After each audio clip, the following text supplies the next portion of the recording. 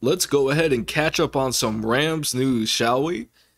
Uh, not a whole lot has happened the past couple days, but there are a few few little tidbits that are uh, of note, you know, that I'll kind of go over here. Uh, Stephon Gilmore um, will not be coming to the Rams. He's going to go ahead and sign with the Colts.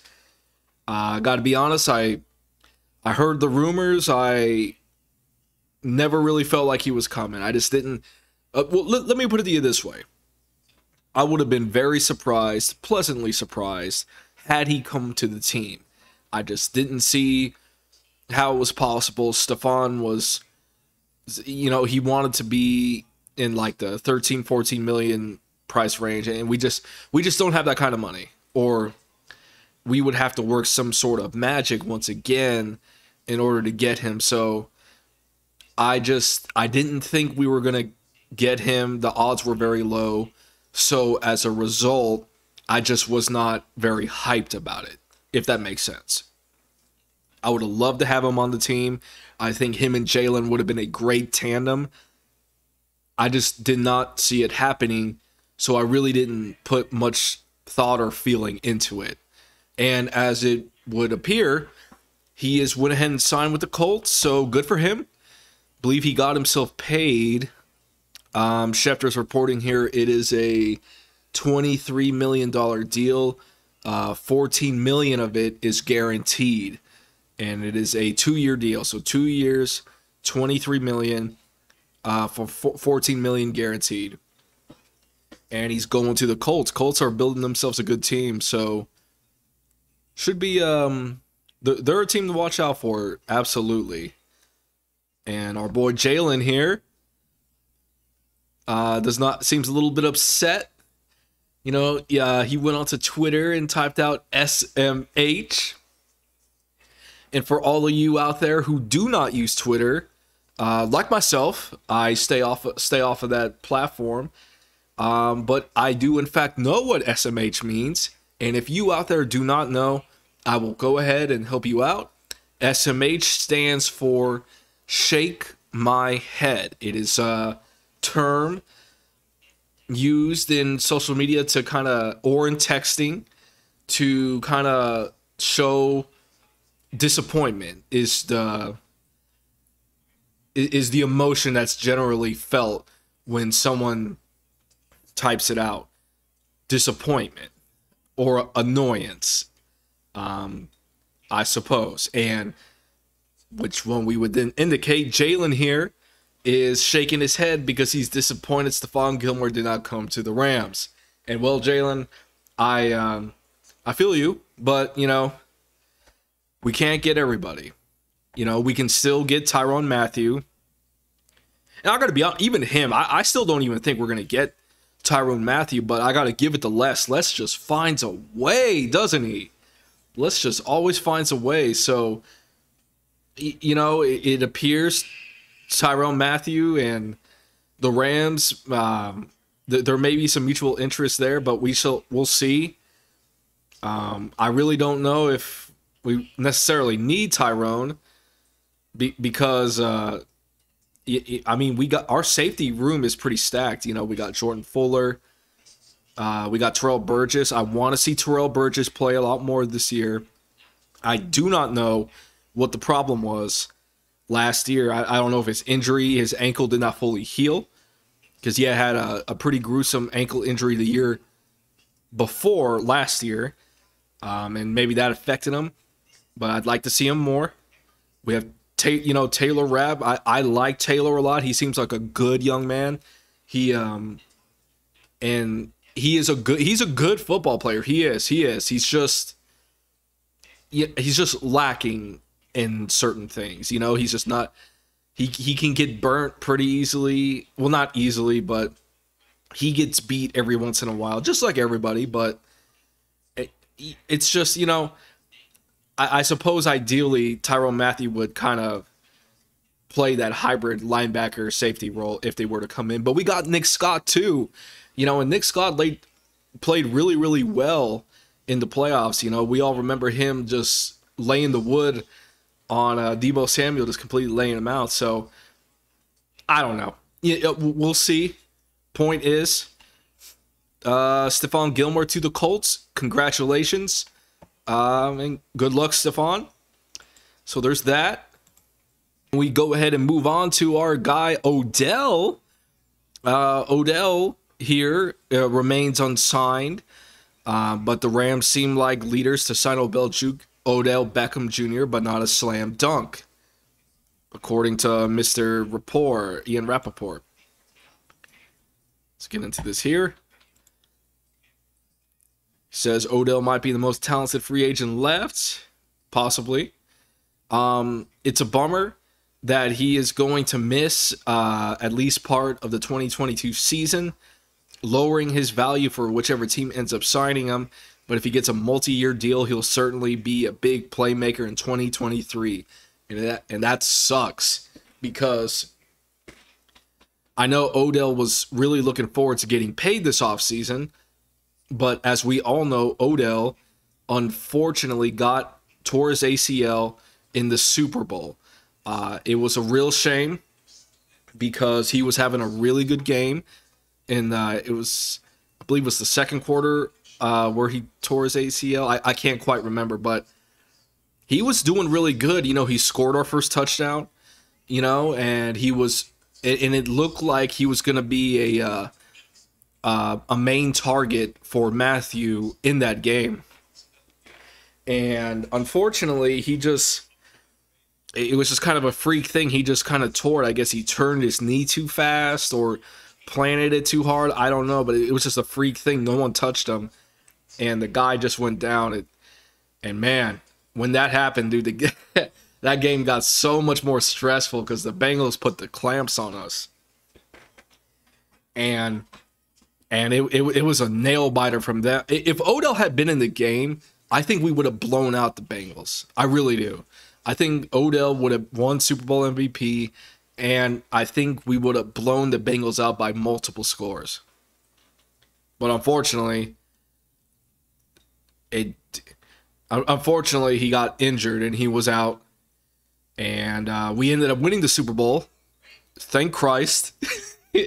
by some by some by some last minute heroics by Matthew and Cooper and by Aaron Donald. So thank the Lord for that because it was stressful, as y'all know. But the point I'm trying to make here is Odell probably would have gotten paid a whole lot of money had he not gotten himself injured. And unfortunately, he will not be getting that big check that he more most likely desires. And Odell, that's just that's just it is what it is, Odell. You got yourself, you know, you got you got injured and you're going to have to prove yourself again to other teams if you want to get that big payday. It is what it is. I'm sorry. It's just it's life. Life sucks sometimes. Let me tell you. Let me tell you, it sucks sometimes. But that would then indicate that he would probably be on a team friendly deal because ideally he would be out for the majority of the next season, the 2022 season. And a, a, what a lot of Rams fans are kind of predicting is that Odell, if we sign him, he gets healthy and then he can uh, get healthy at the right time, uh, you know, and kind of help us when we get to the playoffs, if we make the playoffs Lord willing, but it's looking like we might be able to. And he could be that extra push, that extra weapon, that extra motivation, that that that, that extra little juice. He could provide that extra juice to our team come playoff time next year that could boost us into repeating. Okay, that's that's the I mean I I, I can see it now. I can I can see the story. I can see it playing out in my mind, but we got to sign him first, and and we have not signed him yet. So it's interesting uh, about what's what's going to happen on that front. The article continues. There hasn't been much reported interest in Beckham, and a return to the Rams shouldn't be ruled out. Ian Rapoport was on the Pat McAfee show on Friday, and he said in his opinion that the Rams are the leaders in the club's house to sign Beckham. Uh, I believe so as well. I'd actually be pretty surprised if he signs elsewhere, but then again, he hasn't been signed yet, so it's not official. Uh, Ian Rapoport is quoted here. It's not a guarantee. I don't think it's a slam dunk that he goes to the Rams, but they certainly seem like the leader in the clubhouse. He liked it there. I know he liked LA. I know they know more about his about his medical than any other team. Their team doctor did the surgery. Other teams are interested, but that to me seems like the most likely scenario. So, it's what he's he's not saying that he's going back to the Rams, but there's obviously obviously I would be surprised if he doesn't come back. Let me let me tell you, let me just say that because he he Odell has said he really likes it at the Rams. He's from he lives in LA. He really liked it here and the Rams team doctor did the surgery on his ACL and according according to them he like corrected an issue in his knee uh, from a previous injury. So, because remember, Odell, this is not the first time he tore his ACL. The first time he tore it was in Cleveland, and there were reports that the surgery didn't go as well as they would like, and there was still some sort of issue. It doesn't go specifically into what the issue actually was, but that there was some sort of issue and that he was not 100% healthy. According to what he was saying, the Rams team doctor did the surgery um, on the ACL tear that he had in the Super Bowl and simultaneously corrected the issue from his first ACL surgery, which would then indicate that he may um, be much healthier and uh, maybe get that maybe get that knee fully healed this time. So which would be good, which would you know, which would indicate that if Odell does have his knee fixed, he could have a pretty good career because he's a, he's quite the wide receiver. You know, he's a he's he's very good. So it's it's exciting, you know, and hopefully hopefully that can get him uh, we can sign him to a multi-year deal because I would like to have Odell for the foreseeable future. And lastly, it would appear Matt Gay is going to be returning to the team, for he has signed a restricted free agent tender that will earn him $2.54 million in 2022. So we are getting our kicker back. He is going to come back. Uh, it was announced that he is tied to the Rams for another year at $2.54 million, which is the amount of the tender that he signed. It's not guaranteed, however. So the Rams, okay, so the Rams could cut him without paying him anything before the season begins. Um, though I, I don't see them doing that. I don't think they're going to do that. I would be very shocked if they did. And I would also call them out and say it would be a stupid decision if they were to cut Matt Gay before the season starts, considering he is our only kicker. That would be dumb. And the Rams are not dumb, so they're not going to do that. Uh, last season, Gay made 32 of his 34 field goal attempts in the regular season, also drilling 48 of his 49 uh, PAT attempts, the extra point after you score a touchdown. Uh, in the postseason, he made 8 of 10 field goals, all 11 PATs, and one making 23 consecutive field goals, which is the second longest streak in franchise history. Hell yeah, Matt Gay. Uh, we signed him in 2020, solving their kicking woes after losing Greg Zuerlein in free agency. Y'all remember Greg Zuerlein was booted after he missed that field goal that in Seattle that could have won us that game and ultimately cost us a, a playoff spot. No, it cost us some seeding, but we lost the game in Seattle because he missed the kick. And uh, I was furious. I was pissed when that happened. I still remember that. And after that, we had good old Sam Sloman. Remember him? Uh, who was did not turn out. You know, he's from uh, Sean McVay's alma mater, uh, Miami of Ohio, and he just he just it just didn't work out. He didn't seem like he had a strong enough leg, and um, you know he just wasn't strong enough with the kicking, and he just wasn't that good. Uh, Kai Forbath came by, but struggled as well, and that was that was a carousel because I I get so annoyed watching kickers miss. Dude, especially professional NFL kickers. Like y'all got one job. Like what do y'all do in practice? Okay, like y'all cannot be missing all these kicks and tell me that you haven't been like slacking off in practice if you're missing kicks routinely in the games. So, you know, it just annoys me. So we we had that issue but we signed Matt Gay, and so and he's been solid for us. He helped us win the Super Bowl. So I really would like to have him continue being with us for a while.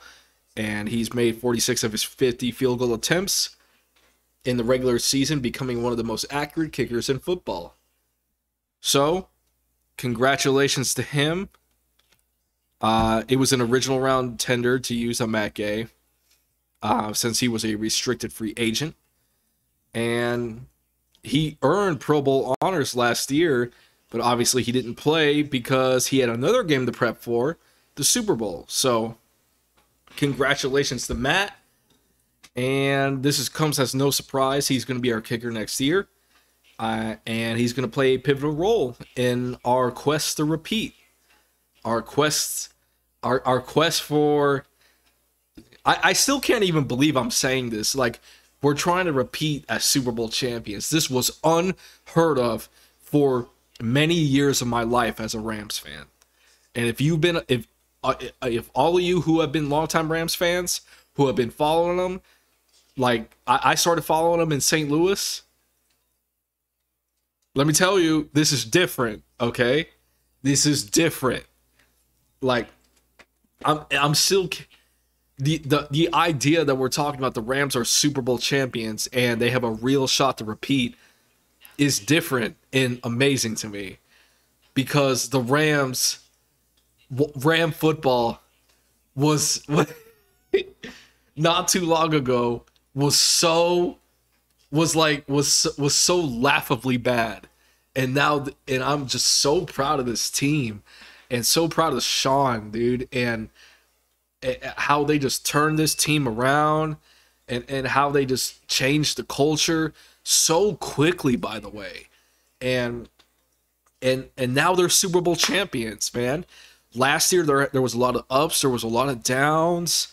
You know I, y'all heard me rant and rave and and call out this team on a number of issues you know but they were able to weather the storm get it together and win the super bowl and it's amazing to me. And now they have a real shot to do it again next year. And we will have Matt Gay as our kicker once again. So that's going to do it for now, guys. I will catch you guys on the next one. And as always, draft is coming up. We'll see what the Rams do. Go Rams.